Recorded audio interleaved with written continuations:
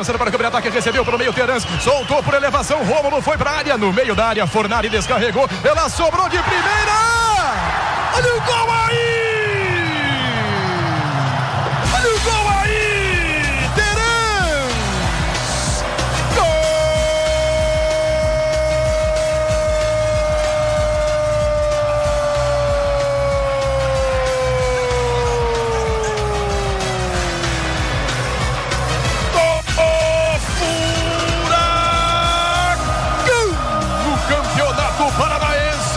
El Rei Terans.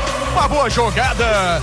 Não é atrapalhado o sistema defensivo do Azures, mas agora bateu o cabeça, o lançamento, a bola desviada, sobrou da entradinha da grande área, Davi Terans. Deu uma cacetada rasteirinha, a bola nem foi tão forte. Caiu o goleiro Fabrício, só pra foto.